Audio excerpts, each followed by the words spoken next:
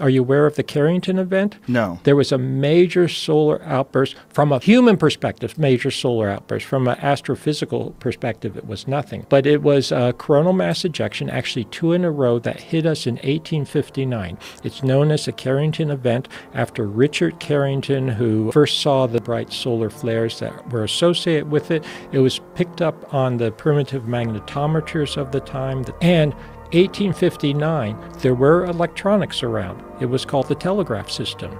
The telegraph system acted as huge antenna that picked up the changing magnetic fields, generated electricity along it, burnt out the telegraph lines, literally set telegraph stations on fire. Wow. If we had a Carrington level event now, it would fry our grid line, knock out all the huge transformers as it's coming in, probably knock out all the satellites, the GPS systems, communications. I mean, it would really bring us to our knees.